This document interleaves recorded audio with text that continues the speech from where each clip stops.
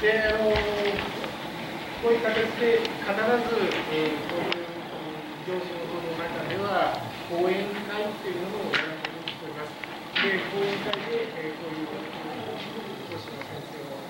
お選びし、えー、その講師上によって、えー、時の話題とあるいは皆様仏様の由来等について講演になっているということであります。でそこでですね、え今日私のゆでたちも説明しなきゃいけないんですが、実はあの明日、この山教水の人間様祭りということで、今日は講演会なんですが、明日は寺子屋展示法というものをやらせていただきます。えー、本間橋の資料館で、えー、そういう行事が通してあります。えー、言いますと、私の今日のゆでたちは、多分昔の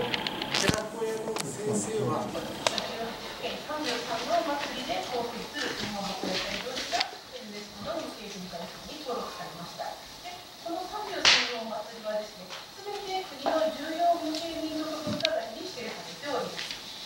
この重要無形民族文化財に指定されている33のお祭りを保持する団体、ここのお祭りを、ま、保存している保持団体がですね、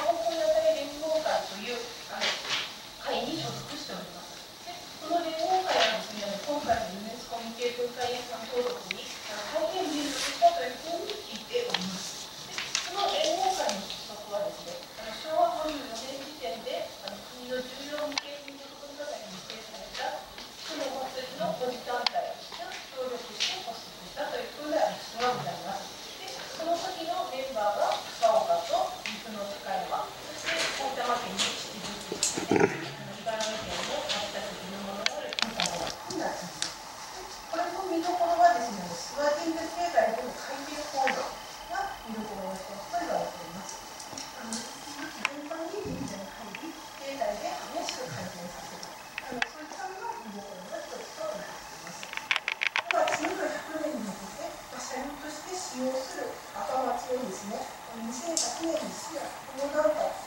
ていくそういった準備のとこ